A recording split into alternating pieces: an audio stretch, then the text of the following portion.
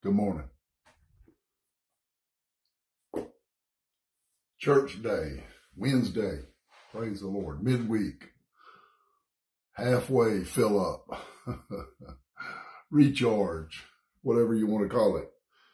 Time to go to church tonight, get filled up, get ready to go again the rest of the week. Hump day. Whatever they want to call it. It's church day. I'm looking forward to church tonight. I'm looking forward being back around God's people, being in the presence of the Lord with his people gathered together, assembled together. The scriptural biblical word for that. Assembled together, provoking one another, provoking one another unto love and good works. Praise the Lord. Good morning, Miss Terry. Good morning, Brother Ken, Miss Susan. Hope y'all doing well. the throat is a little better. Maybe. Uh, we'll find out. and the cough is up and down. Just depends on what's going on and what's happening. Second, First Timothy chapter number three.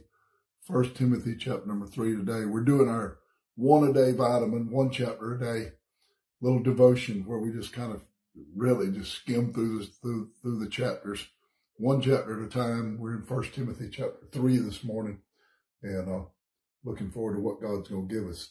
Every chapter in the Bible is important. Every chapter in the Bible is God breathed. Every chapter in the Bible is given for our learning, our growth, our instruction. Every chapter. Not every chapter is for our um, practice. We're not burning bulls and goats. We're not not feathering and, and burning turtle doves uh, for the Lord. We do that for us now. and so we're looking forward to that. Good morning, Brother Benny. Good morning, Brother Joey. Hope everybody's doing well. I'm going to try to try to cheer it up. Is what I'm going to do. Amen. Try to make it a little better anyway. It's a little shaky this morning. That's not better. That's not better. Got one of the big heads. that might be. Praise the Lord. All right. it's a little shaky this morning, a little coffee. Coffee like cough, not coffee like drink. And uh, so we'll, we'll be all right. Praise the Lord. God's been good to us, and I got no complaints. This thing's messed up again. Am I better? Somebody wanted to know. Uh, better than what? I'm better than most. oh, you know, if you know me, you know I don't even believe that. But yes, I'm I'm in some ways better, in some ways I'm still waiting on my doctor to call me back. I called yesterday to find out if I need to go in. The main thing I want to know is, am I contagious? Um, I don't want to share this with everybody at church. I, I do, I do have a concern for other people uh, I was told Monday, what is today, Wednesday? I was told Monday when they did this surgery that everybody had it. They didn't think it was contagious, but that was a dermatologist.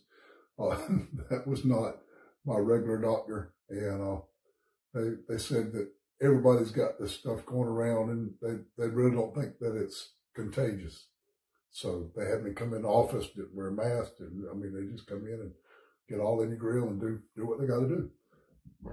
So, being as I've got a little bit worse, I, I, I'm just concerned about people at church. So I'm waiting on my doctor to call me back to see if they want to see me or call something in or whatever they're going to do. I don't know. I don't know. I'm just going to keep doing what I'm supposed to do. That's all I know to do. First Timothy chapter number three. Let's read this morning. Good to see everybody. Good morning, Miss Kathy. I'm here, but I'm slow. you, you, you'll keep up real well. cough drops wearing off. You know, I can't talk and chew on a cough drop, so we're just to bear with it and keep going. All right. First Timothy chapter number three. This is a true saying. If a man desire the office of a bishop, he desireth a good work.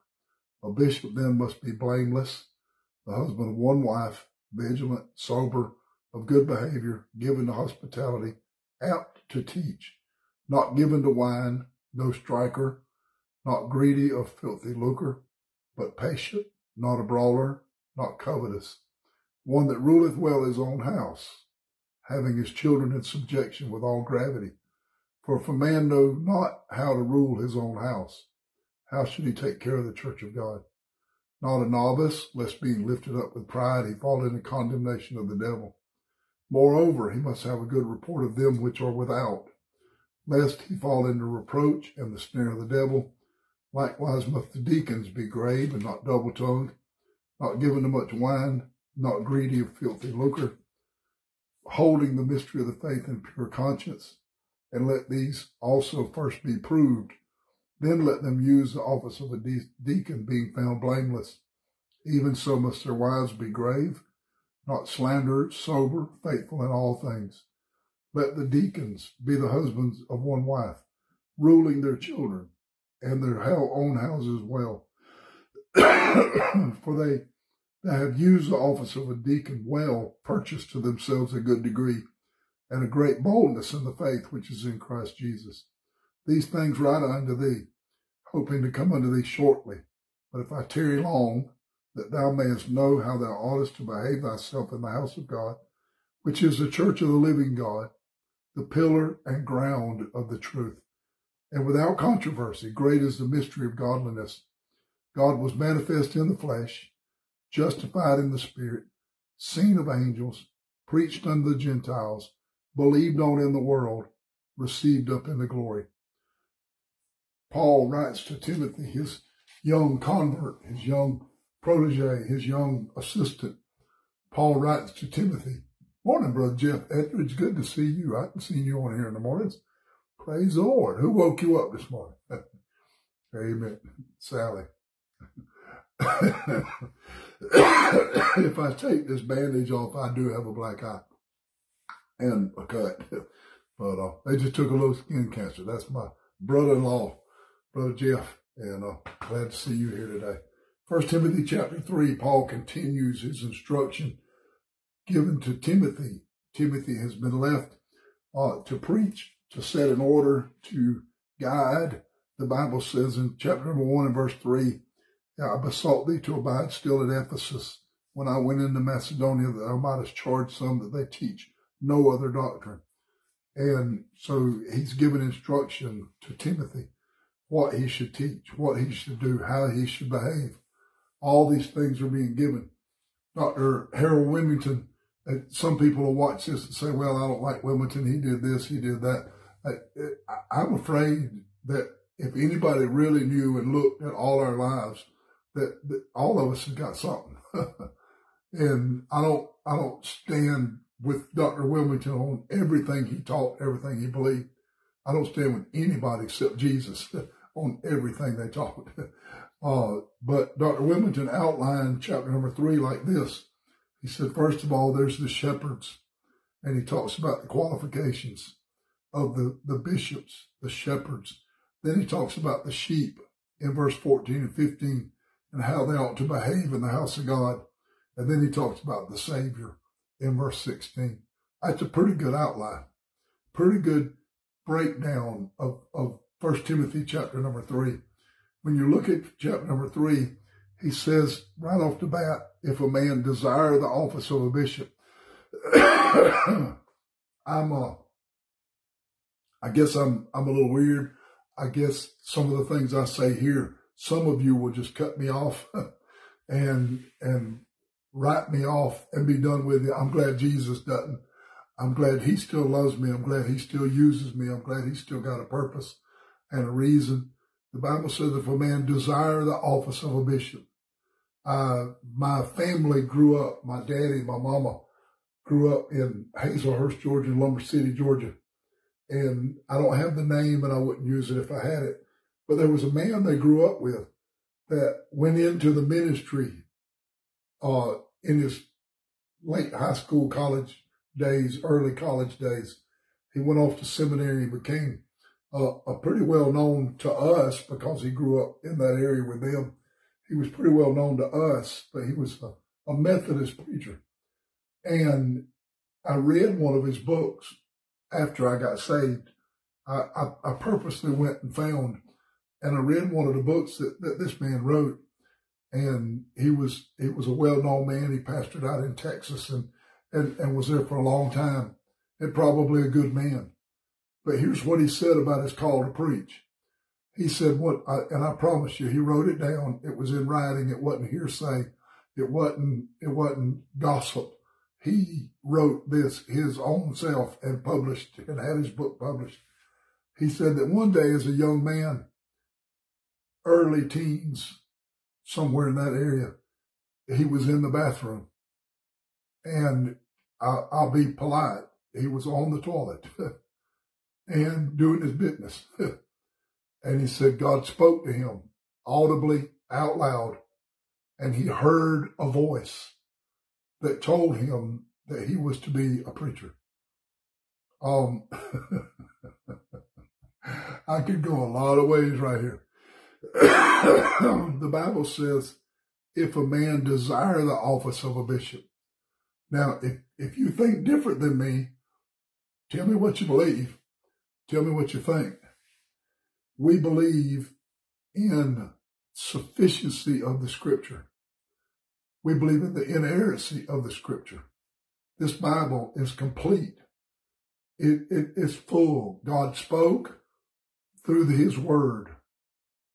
And yet we say, when we try to convince somebody that we're called to preach, we say, well, I had this, this experience.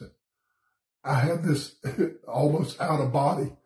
We, mock and make fun and ridicule and rebuke the charismatics when they say they heard a voice or God gave them a word or, or here's your word for it, extra biblical revelation outside the Bible revelation.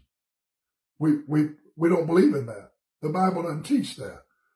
God gave us the word and then those sign gifts were done away. Those miracle gifts that they were done away because we don't need those anymore because now we have the word of God. I believe that when a man calls, when, when God calls a man to preach, he puts a desire in his heart. The Bible says in Psalm 37, 4, and I can't quote it, it's gone this morning, but the Bible says that if you delight yourself in the Lord, that he will give you the desires of your heart. I know pastors, I know preachers, I know evangelists that say, well, I have this, this this experience. I had this voice. God told me I was going to be a preacher. If that's the way you want to go, then go. But I'm going to tell you what God did for me. God put a desire in my heart. God put a hook in my heart and, and drew me. I went to my pastor and I said, I want to do and, and preach and tell. I want, I've got a desire. I can't quit. I can't quit because that desire is still there. I'm here this morning because that desire is still there. I'm up this morning when I really don't want to be up. I'm talking when I really don't want you to hear me. and it don't hurt. It, it, no, no pain. It just sounds bad. it never does look good. but I'm here because God put a desire in my heart. I'm still pastoring today because God put a desire in my heart. And he has not taken that away. Jeremiah said, I'm not going to speak. I'm not going to mention his name. I'm done. These people are driving me crazy. Jeremiah said, I know, no, I'm not going to do it anymore. and then he said, but God's word was in my bones, burning. he said, it's burning. I can't quit. He had a desire. God gave him a desire. If any man, if a man desire the office of a bishop, here's the next part. He desireth a good work. Bishop, pastor, elder, three words for the same office. Bishop, pastor, elder, three words for the same thing. We're talking about the pastor of the church. Bishop, pastor, elder, three, three words for the same office in the church. If a man desire the office of a bishop, he desireth a good work, and it is work. It is work. We laugh, we joke, we, we say, well, the preacher don't work but two days a week. uh, yeah. okay. Praise the Lord. If you believe that, you go ahead. Here's what God said, the guidelines, the qualifications for a bishop, for a pastor, for an elder. A bishop then must be blameless. Blameless. The husband of one wife, vigilant, sober, of good behavior, given to hospitality, apt to teach, not given to wine, no striker, not greedy of filthy lucre, but patient, not a brawler, not covetous, one that ruleth well his own house, having his children in subjection with all gravity. For if a man know not how to rule his own house, how shall he take care of the church of God? Not a novice, lest being lifted up with pride, he fall into condemnation of the devil. Moreover, he must have a good report of them which are without, outside the church, lest he fall into reproach and the snare of the devil. you, you, see, it's getting worse. You see these um, qualifications. Most people will focus on one of these. Most people will, will pinpoint one of these. You hear more about husband of one wife than you do all the rest of them put together. And, and people focus on that and people point their fingers. If you decide you're called to preach, you're going to have to deal with that verse. If God puts a desire in your heart, you're going to to deal with that verse. You're going to have to deal with your own conscience. Going to have to deal with your conscience. You're going to have to deal with the crowd that, that you're around.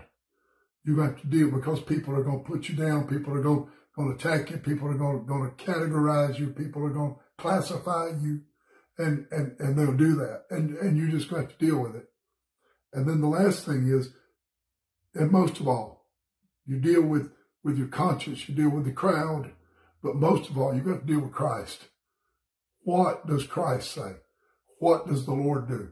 And what does he do in your heart? People have spread rumors about me and talked about me. I've only been married one time. I got one wife.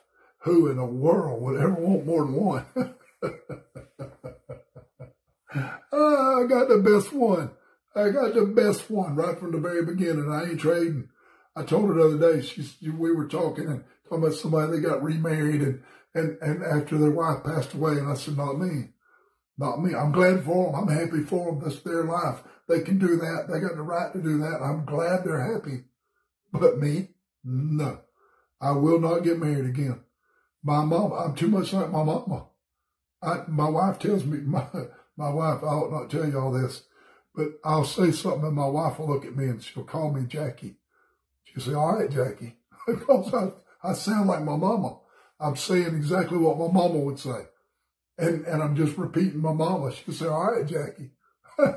and, and my mama, when, when my mama, when my daddy died, my mama said, I had my, my man, I had my husband, I had my, my mate. That's my spouse. That's my life.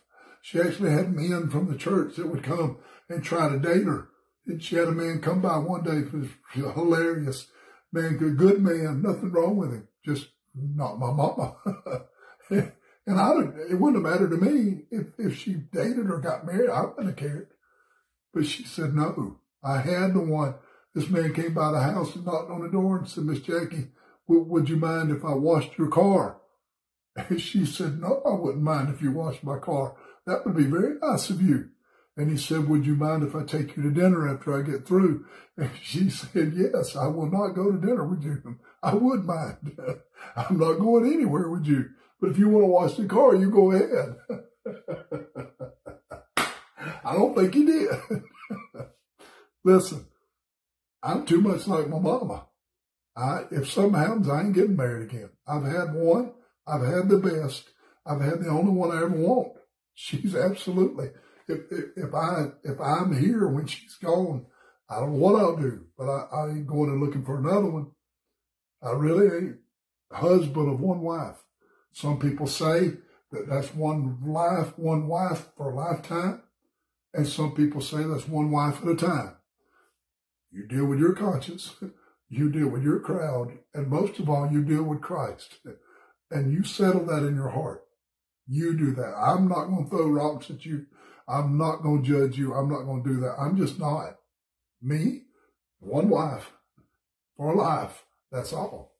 There's a lot of ways we could go with this if y'all want to go. But when you look at this, husband of one wife, vigilant, vigilant, watching, looking, paying attention, aware of what's going on around him, sober, serious minded, serious minded, of good behavior,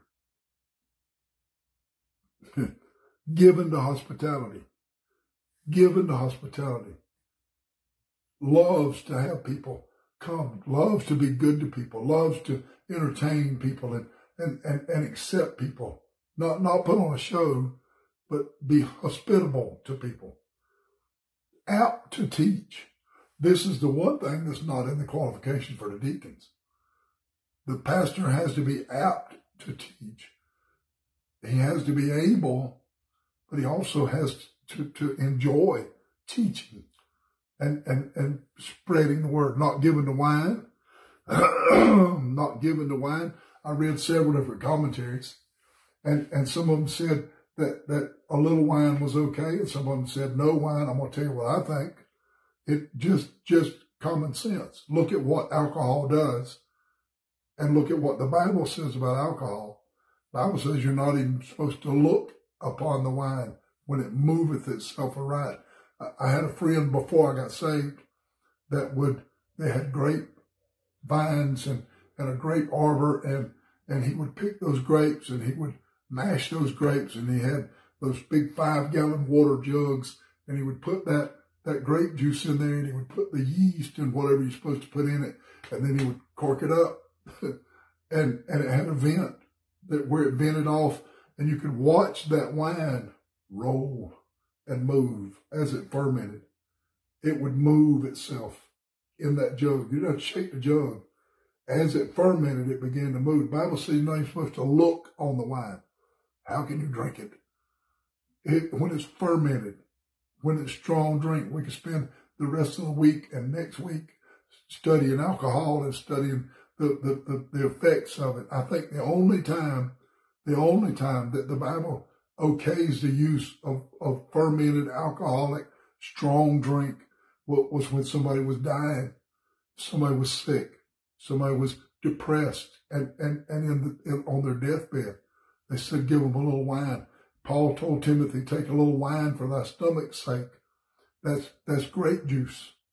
That I had a doctor tell me one time that, that even today for ulcers, and stomach problems that grape juice was very, very effective and calming for the stomach. And so not giving the wine, no striker, not greedy of filthy lucre, but patient. we just disqualified every preacher I know. Patient? really? we just disqualified every man of God I've ever been around. Patient not a brawler, not covetous.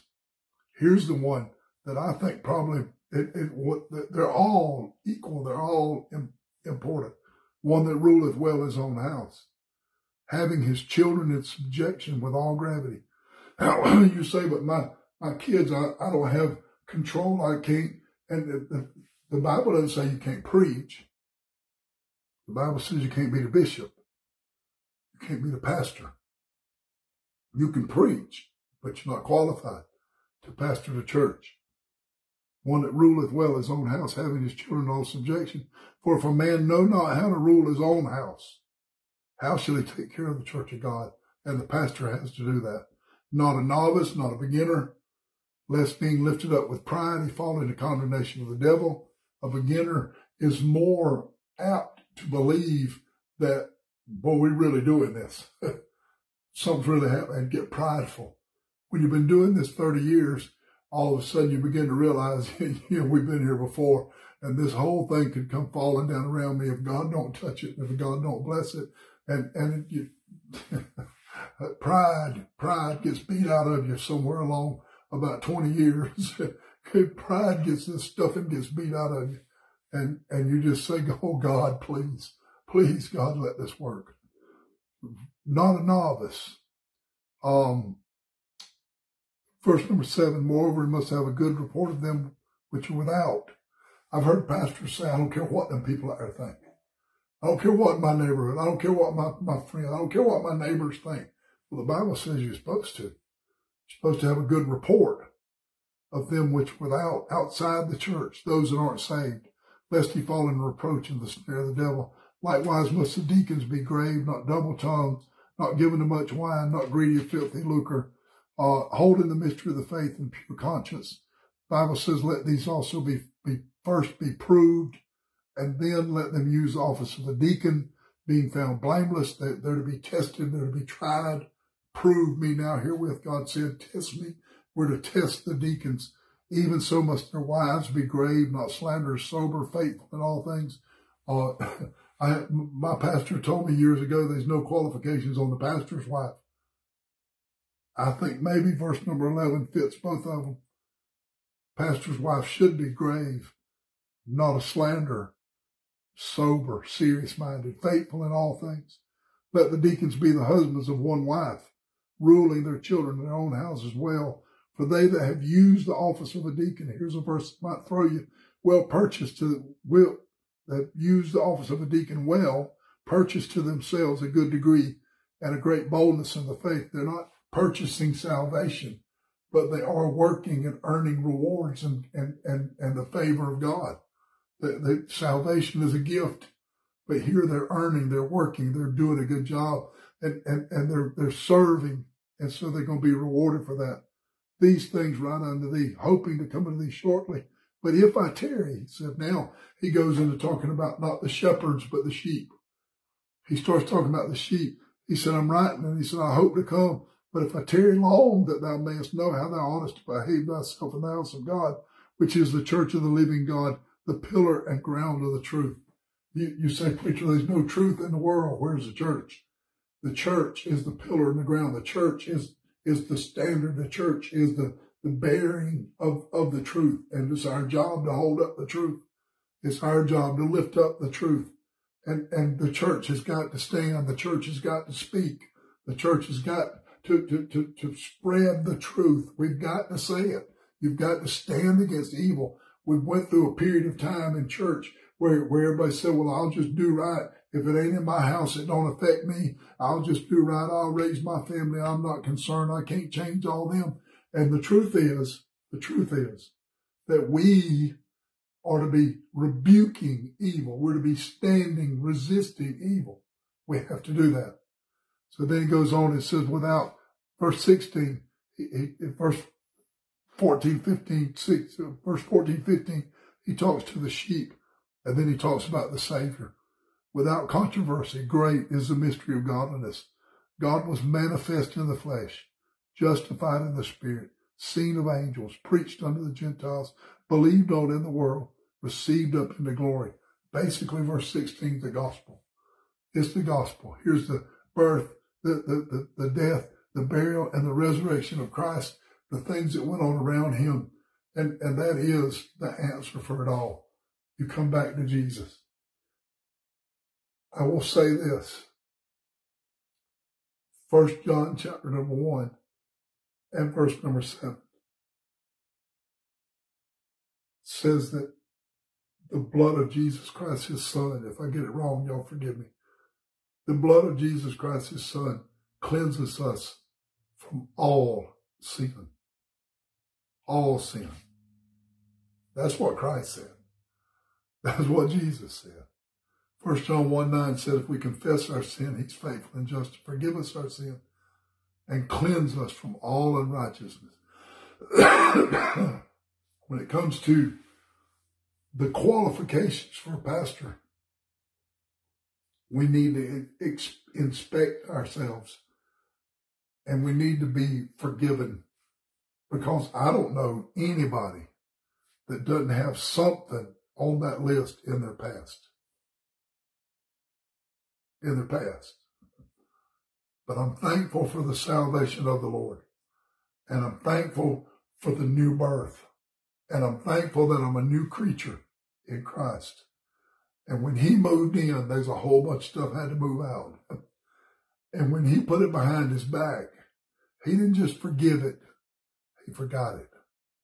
The Bible says that he is faithful and just. He cleanses, he, he forgives and, and cleanses us from all unrighteousness. It's gone. I'm thankful for the work of God. Amen. I don't know how long we've been on here. I got to get me a clock in here. I don't have a clock in this room. But praise the Lord. I hope you have a great day today. Go to church. Get in church. praise the Lord. God's been good to us. I can't tell who's watching. I'm sitting too far away. Miss Kathy, good to see you. Uh, I think I said all that. Mr. Reese, call me let me know how things are going. And uh, just to, don't don't put it on here. Just send, just call me or send me a message. And uh, we've been praying. I didn't get the message till three o'clock this morning, but uh, we're doing that. Praise the Lord. But Benny, I don't want to preach on behaving nowhere. I like to misbehave. I'm kidding. All right, Brother Trey, good to see you. I was looking to see who else on here. Brother Andy Wells, praise the Lord. That's a preacher. Hallelujah. Glory to God. I love Brother Andy's uh, podcast and the things he does. And uh, I just need him to send me some of that coffee. they try out different coffees on their podcast and they preach the gospel. Can you imagine? The, the word of God and different kind of coffees that they, yeah, that's a real podcast. I don't have all that here today. I hadn't even made coffee this morning. I didn't make any coffee because I had, um, I had, um, um, cinnamon apple hot tea. Does that sound like reprobate? hot tea, cinnamon apple and, um, honey and apple cider vinegar a whole bunch of apple cider vinegar, just poured it in that cup full of tea. and it's cut some of this stuff. Um, I think it cut some of the vocal cords too. but anyway, praise the Lord. I'm fixing to make some coffee. Amen. Why is a man, why is a husband make the coffee? Hebrews, Hebrews, not Shebrews. Amen. All right. We'll see y'all tomorrow. Y'all have a great day. Go to church.